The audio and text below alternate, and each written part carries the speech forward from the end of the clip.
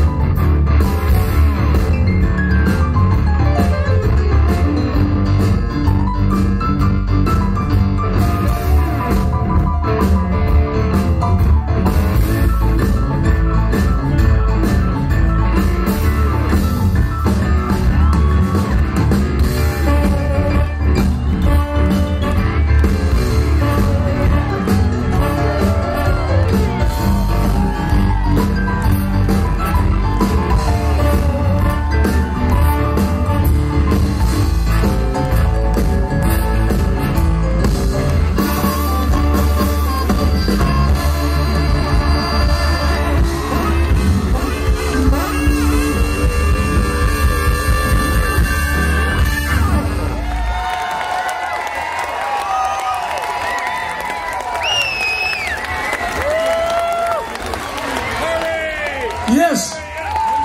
Everybody knows who that is. My ex-wife.